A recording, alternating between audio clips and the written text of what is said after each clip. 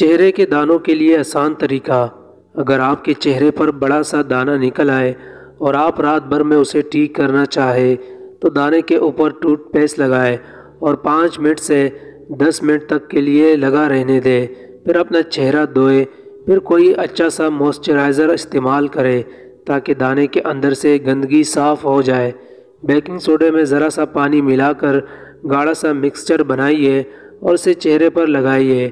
कुछ देर में नीम गर्म पानी से चेहरा धो ले। चेहरे पर निकलने वाले दानों को बार बार हाथ ना लगाए। पानी ज़्यादा से ज़्यादा पिए और मेकअप कम से कम इस्तेमाल करें।